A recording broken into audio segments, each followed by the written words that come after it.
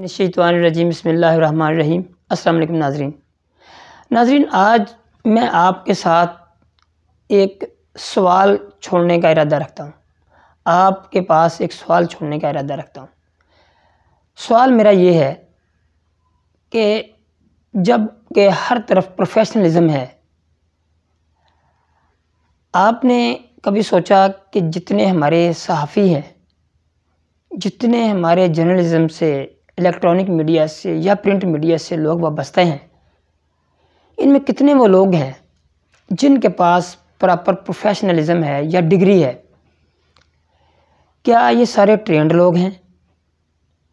या क्या ये सारे काम सीखे हुए हैं? या क्या ये लोग सारे सिफारशी हैं? हम रोज़ मीडिया पे देखते हैं, अखबारों में देखते हैं, कितने प्रोफेशनल लोग हैं। प्रोफेशनल मीन कि उनकी तालीम कितनी है? क्या उनमें डिग्री होल्डर और डिप्लोमा होल्डर हैं? या सारे के सारे अताई हैं कि मैंने तो अभी तक यही देखा है कि कोई भी डॉक्टर बगैर डिग्री के अपनी प्रैक्टिस नहीं कर सकता। कोई भी ऑपरेशन थिएटर में ओटी का डिप्लोमा के बगैर ऑपरेशन नहीं करवा सकता। कोई भी डिग्री के बगैर वकील नहीं बन सकता। इसी तरह किसी भी शोबे में देख लें। तो ये सहाफ़ी, मैं सोचता हूँ रोज़ रोज़ हम टीवी पे देखते हैं इनको, कितने प्रोफेशनल साफ़ी हैं। ये मैं सवाल आप लोगों से पूछता हूँ। साफ़ी बुरा मान जाते हैं। मैं मैं खुद मैंने मास्टर जर्नलिज्म में किया हुआ है। जब मैं मेडिकल लाइन में आया तो मैंने बाकायदा उसकी तालीम हासिल की।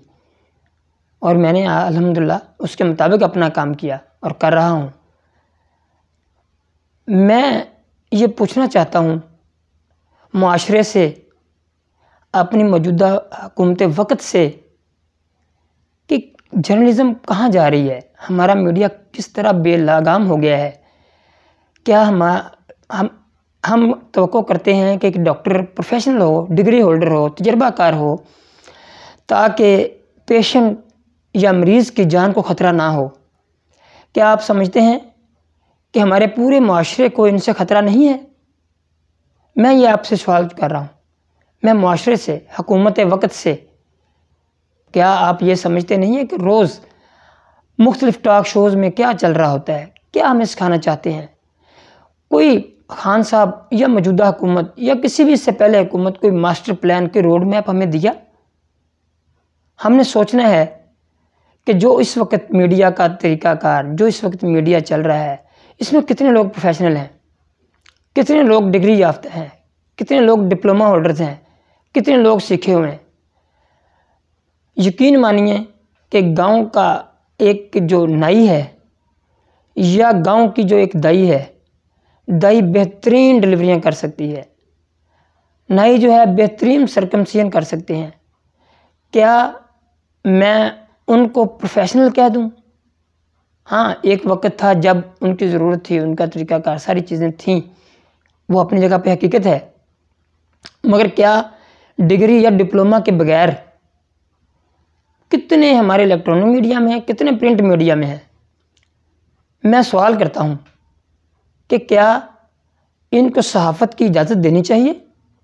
इनको हमारे माशरे को बर्बाद करने का हक देना चाहिए?